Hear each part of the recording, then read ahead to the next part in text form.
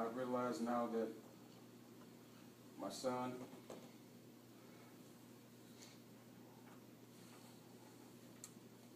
he might have thoughts that mommy and daddy don't love him because we're not there. I realized later on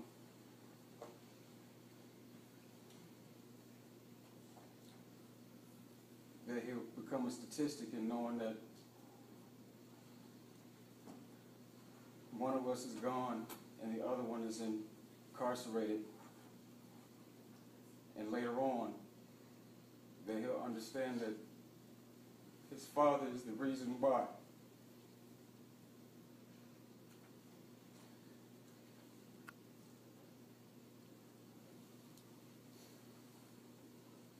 I'm so sorry that I lied to you.